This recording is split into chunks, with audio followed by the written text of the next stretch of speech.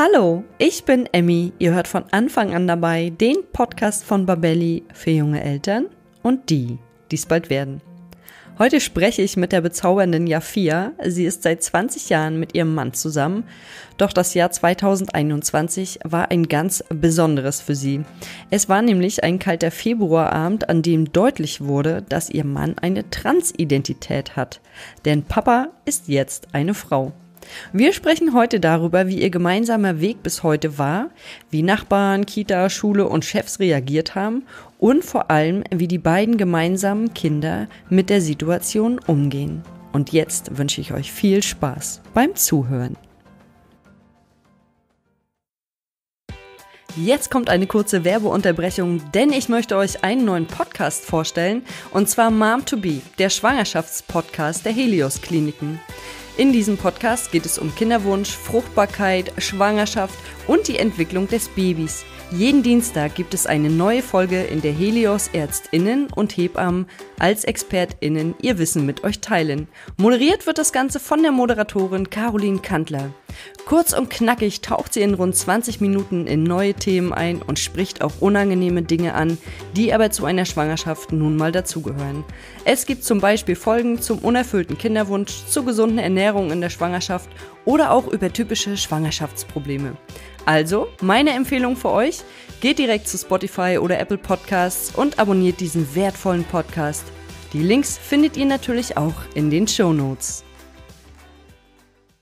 Ja, hallo und herzlich willkommen zu einer neuen Folge von Anfang an dabei. Heute mit dem Thema Papa ist jetzt eine Frau. Ich freue mich sehr auf meinen heutigen Gast, Jafia. Hallo, Jafia. Hallo, schön, dass ich da sein darf. Ja, schön, dass du da bist. Und bevor wir gleich ins Gespräch gehen, würde ich dich bitten, dass du dich kurz erst einmal vorstellst. Ja, ich bin wie gesagt die Jafia, ich bin 36 Jahre alt, habe zwei Kinder, eine sechsjährige und eine zweijährige, bin Lehrerin und bin seit neuestem Ehefrau einer Frau. ja, das hast du schön gesagt. Und genau, da möchte ich gleich mal in die Materie einsteigen, sozusagen.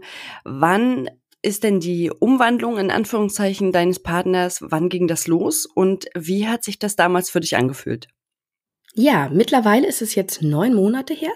Also im Februar 2021 saßen wir am Kamin und hatten über mehrere Tage relativ ernste Themen, weil das war gerade diese Zeit, ihr kennt das alle, wo ähm, Corona doch sehr präsent war und man war eingesperrt zu Hause sozusagen. Und da kamen so elementare Gespräche auf über unsere Gefühle, wie soll es weitergehen, wie, wie bringen wir das irgendwie rum, dass die Kinder einfach nicht, nicht unglücklich werden. Und irgendwann kam das Thema darauf, auf die Weiblichkeit. Und aus dem Nichts fragte ich plötzlich meinen Mann, bist du eine Frau? Und er hat überlegt. Langes Schweigen und ich merkte, mein Herz schlug immer schneller, immer schneller. Und dann sagte mein Mann wirklich, du, ich glaub ja, ich glaube, ich bin wirklich eine Frau. Und plötzlich ist wie so eine Art ähm, Knoten geplatzt, weil mein Mann war vorher durchaus depressiv, also hatte auch mehrere depressive Phasen und war wirklich schlecht drauf. Es gab ähm, eigentlich nie einen Tag, wo ich fragte, hey Schatz, wie geht es dir? Und es kam ein Hey, gut, sondern immer nur so okay. Das war das Beste, was ich kriegen konnte. Und ab diesem Gespräch war alles anders. Aber, aber ich frage mich, wie kommst du darauf? Also ein Gespräch über Weiblichkeit, das kann ja im Prinzip in jeder Partnerschaft mal stattfinden. Aber dann zu fragen, ob man sich als Frau fühlt. Also gab es da irgendwie Anzeichen? Hat dein Mann sich anders gekleidet oder geschminkt oder hat er weibliche Züge ähm, an sich gehabt? Oder wie kommt man auf diese Frage? Das frage ich mich. Das Irre ist, mein Mann war absolut männlich. Mettbrötchen, Kettensägen, äh, Hand, also hier handwerklich das totale Genie und, und wirklich extrem. Keine weibliche Kleidung, kein Schminken, nichts, was irgendwie über Rasieren hinausgeht. Parfum ging gar nicht für Männer. Also so richtig absolut maskulin. So fast schon nicht extrem, aber schon sehr in die Richtung. Aber ähm, ich muss dazu sagen, wir sind jetzt seit 20 Jahren zusammen. Ich bin mit ihm sozusagen erwachsen geworden. Und ich glaube, irgendwas schwingt da so zwischendurch. Das kann man durchaus als Seelenverwandtschaft bezeichnen. Und ich habe das Gefühl, als wenn mein Unterbewusstsein mh, mm, diese Frau in ihm hat irgendwie um Hilfe rufen gehört, weil ich irgendwie gespürt habe, da ist was. Und ich, wie gesagt, ich kann nicht sagen, woher diese, diese Frage kam, aber sie war plötzlich in diesem Moment so glasklar in meinem Kopf. Das war der Wahnsinn. Also ganz intuitiv kann man fast sagen. Richtig, wenn, richtig. Wenn ihr euch auch schon so lange kennt, dann kennt man den anderen ja fast so gut wie sich selbst oder vielleicht sogar so gut wie sich selbst. Und ähm, was war denn damals dein allererster Gedanke? Oh mein Gott, was habe ich da gerade getan? Also ich war vollkommen überfordert. Mein, mein, das war so ein bisschen, äh, mein Kopf hat gesagt, ganz analytisch, ich frage das jetzt einfach scheinbar oder wie auch immer, woher das kam, aber mein Herz hat geschrien in dem Moment, gesagt, ja, Fair, was tust du da? Du zerstörst gerade dein perfektes Bild von einer normalen, spießigen Familie, die ich immer hatte. Aber nun hast du ja das Bild gar nicht zerstört, sondern du hast ja eher irgendwas Schönes aufgebrochen. Es ist was Neues zum Vorschein gekommen. Und wie ging denn dieser Weg danach weiter? Mit diesem Tag hat sich ja wahrscheinlich schlagartig euer Leben verändert. Ja, das hat es wirklich. Also die ersten Tage waren noch relativ milde. Wir wollten ja auch den Kindern noch nichts davon sagen. Und im Endeffekt waren wir eigentlich auf dem Stand, wir wissen das jetzt und wir machen so weiter. Das heißt, Mann, Frau, zwei Kinder. Bis dahin war das auch alles noch vollkommen in Ordnung für mich. Aber dann irgendwann habe ich gemerkt, hm, mein Mann bzw. meine Frau braucht irgendwie mehr, auch wenn er oder sie das nicht zugeben wollte. Und dann habe ich irgendwann gesagt, Schatz, versuch es doch. Du hast so schöne Augen und ich glaube, du kannst wirklich eine, eine wirklich gute Frau aus dir machen. Ja, und dann fing's alles an. Genau, erzähl mal, was fing dann an? Fing das an mit Kleidung? Fing das an mit Hormonen? Womit fing's an und wie hat sich das entwickelt? Ja, also angefangen hat es dann mit Kleidung. Dann waren dann ähm, irgendwelche, also erstmal waren es meine Sachen zum Beispiel, dass einfach mal so ein T-Shirt anprobiert wurde, einfach um diesen Stoff zu fühlen, die Form und so weiter. Irgendwann kam ich auf den Gedanken, hey Schatz, soll ich dich mal schminken? Abends irgendwann. Das war auch wieder ein Moment, wo ich mich selbst überfahren habe, weil ich danach vollkommen überfordert war und gesagt, oh Gott, pack alles weg, ich will das überhaupt gar nicht mehr haben. Das war ein Schock für mich. Und über die Zeit kamen dann halt immer mal wieder so Kleinigkeiten dazu. Dann wurde dann ähm, Ras Rasur, ähm, dann ging es dann Richtung Laserepilation, also von den Barthaaren, dass die dann anfingen, ähm, weniger zu werden. Ähm, ja, alles so in diesem Sinne Richtung Frau. Und mit der Zeit wurde es auch für mich eigentlich immer besser, so dass es heute wirklich eine tolle Sache für mich ist. Aber wie ist das denn für dich? Ich meine, du hast ja gesagt, dein Mann war sehr männlich, sehr maskulin. Und gerade so ein Bart, ist ja für uns Frauen auch was Wunderschönes, wenn das ein schöner Bart ist, der gepflegt ist und man dann einfach ständig anfassen kann. Ja, also ich finde das wunderschön, so, ein, so ein Bart anzufassen. Und äh, jetzt kann ich mir vorstellen, das muss doch ganz komisch für dich sein, wenn da plötzlich so ganz weiche Haut ist. Ja, das war, also ich muss ganz ehrlich sagen, am Anfang war es wirklich schrecklich für mich, dass dieser Bart weg war. Ich kannte ihn seit, oh, lass mich überlegen, seit 15 Jahren nur mit Bart und plötzlich war der weg. Und das war für mich fast Schock. Also ganz merkwürdig. Aber ähm, das hat zwei, drei Tage gedauert und dann habe ich einfach gemerkt, wie glücklich dieser Mensch plötzlich ist. Allein dieses Glück war plötzlich so attraktiv für mich, dass alles andere zu großen Teilen in den Hintergrund gerutscht ist. Das hast du gerade sehr, sehr schön gesagt. Das klingt ja auch so, als wenn du deinen Partner gar nicht unbedingt als Mann wahrnimmst und auch nicht als Frau, sondern als Mensch. Genau, als meinen Lieblingsmenschen. Oh ja, ja, das klingt gut. Und jetzt hast du ja gesagt, ihr beide habt zwei gemeinsame Kinder. Die sind ja noch relativ klein, hattest du gesagt, ne? Zwei und sechs. Und ich könnte mir vorstellen, dass es für die beiden total egal ist, wie Papa aussieht und dass es gar keine Rolle für sie spielt. Wie ist das denn bei euch im Alltag? Ja, bei der kleinen Zweijährigen ist es wirklich egal. Also mittlerweile sagt sie eigentlich so halb halb immer mal wieder Papa, aber auch Svea zum Beispiel, also ihren neuen Namen. Und der ist das vollkommen egal. Bei der Großen war es ein bisschen schwieriger. Die, ich meine, mit sechs Jahren hat die schon ein festes Bild von Mama und Papa. Und an dieser Stelle ist es so, dass ähm, sie hat durchaus gelitten. Einen Abend kam dann, ähm, nachdem sich Papa bei ihr geoutet hat, kam da durchaus viel Tränen bei ihr. Und sie sagte, ich möchte nicht, dass Papa sich verändert. Ich habe Papa so lieb, wie er ist. Aber das war nur dieser eine Abend. Ich konnte sie dann super auffangen und ähm, ihre Ängste konnte ich da auch sehr gut, ähm, ja, wie soll ich das sagen, ähm, aufnehmen und vor allem auch ein bisschen ähm, schwächen, einfach weil sie dann gemerkt, okay, die Mama, die ist da entspannt Und ähm, das konnte ich so an sie weitergeben. Und die nächsten Tage waren dann auch wirklich so, dass man von Tag zu Tag gemerkt hat, sie gewöhnt sich immer mehr daran. Und mittlerweile ist sie fast, also die, die, die am meisten das verfechtet, dass Papa auch wirklich die Svea ist und ist nicht mehr der alte Name, ist wirklich Svea.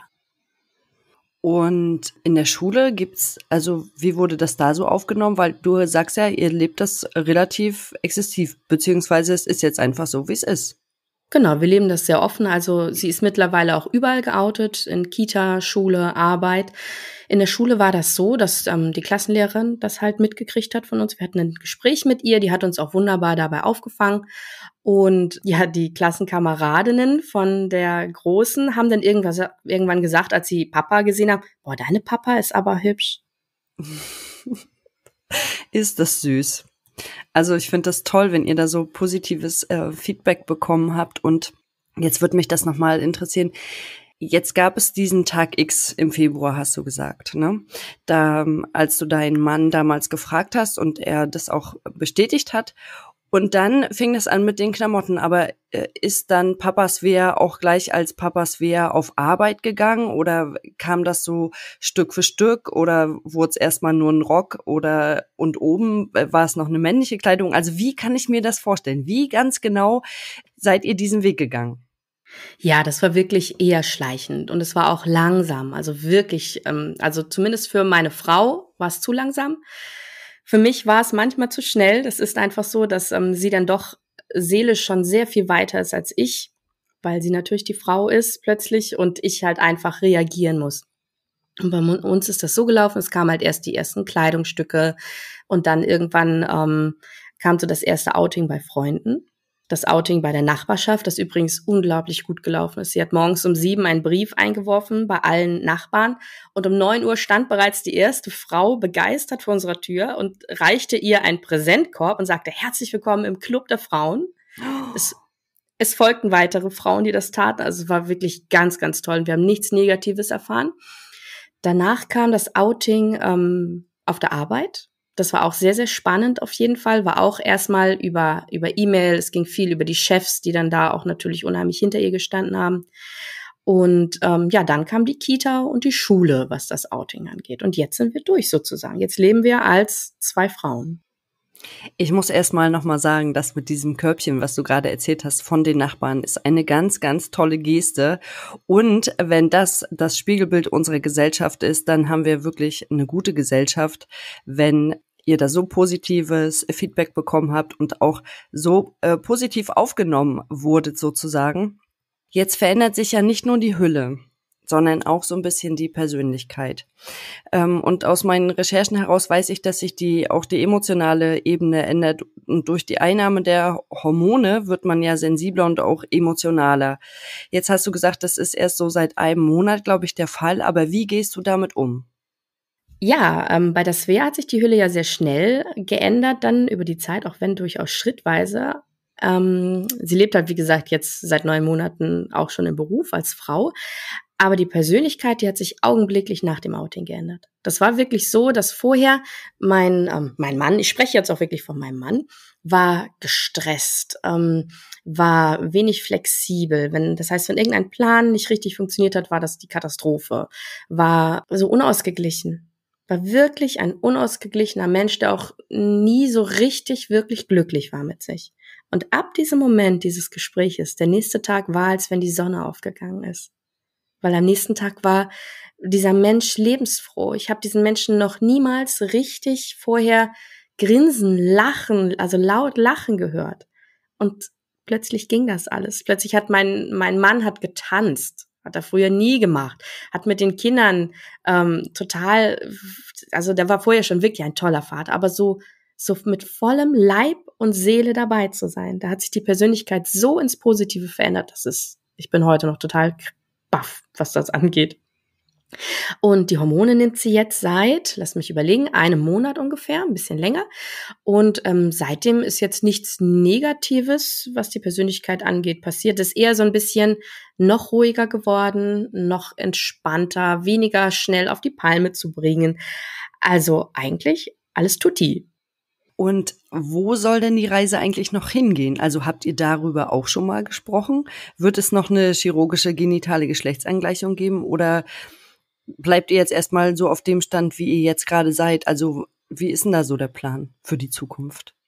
Ja, also natürlich haben wir schon sehr, sehr viel gesprochen, aber gerade bei diesen Gesprächen sind wir auf den Punkt gekommen, dass wir momentan sehr, sehr glücklich sind, so wie es jetzt ist. Das heißt, der Stand, wie es jetzt ist, der wird wohl auch erstmal eine ganze Zeit lang so bleiben. Ob irgendwann noch was kommt, das kann ich jetzt noch nicht sagen. Nun bist du ja von einer heterosexuellen Beziehung in eine homosexuelle Beziehung gekommen, ohne dass du das vielleicht wolltest und ohne dass du dafür was konntest. Wie ist denn das für dich? Also du hast jetzt plötzlich eine Frau an deiner Seite und nicht mehr diesen maskulinen Mann, wie du das am Anfang so schön gesagt hast. Ja, wie fühlt sich das denn an? Am Anfang war es wirklich schwer, weil ich den Gedanken hatte, jemand stiehlt mir meinen Ehemann. Ich habe das alles nicht gewollt. Ich wollte, als ich Ja gesagt habe bei der Hochzeit, hat mich niemand gefragt, möchtest du irgendwann eine Frau haben an deiner Seite, sondern ich habe gesagt, ich habe Ja zu diesem Mann gesagt.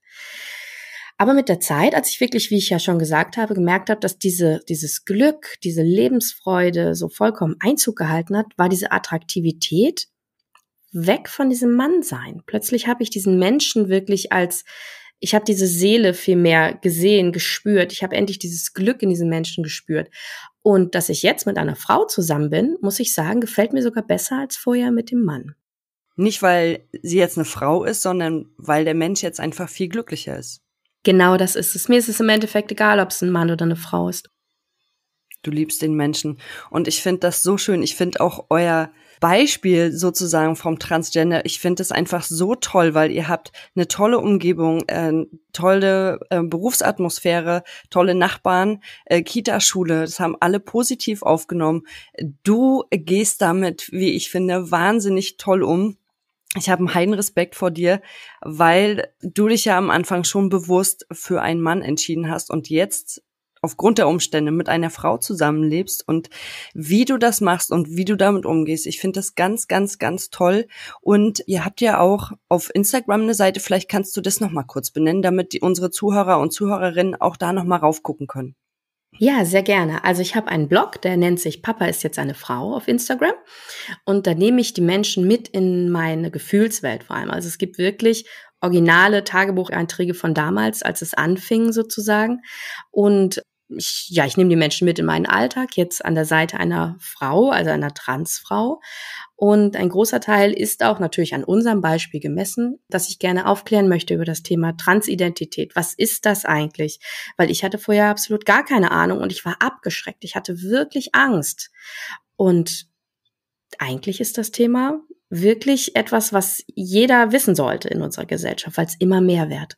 Genau, du hast es gerade so schön gesagt, in unserer Gesellschaft, das finde ich nämlich auch ganz wichtig. Wir sind einfach vielfältig und bunt und da gibt es ganz viele verschiedene Lebensformen, die wir alle akzeptieren äh, sollten. Und ich danke dir auf jeden Fall für dieses aufschlussreiche Gespräch. Und wenn ihr draußen noch Interesse habt und mehr darüber erfahren wollt, dann verlinken wir das Ganze natürlich auch nochmal in den Show Notes. Ich danke dir, Jafia, erstmal für das tolle Gespräch und wünsche dir und deiner Familie für die Zukunft alles Gute.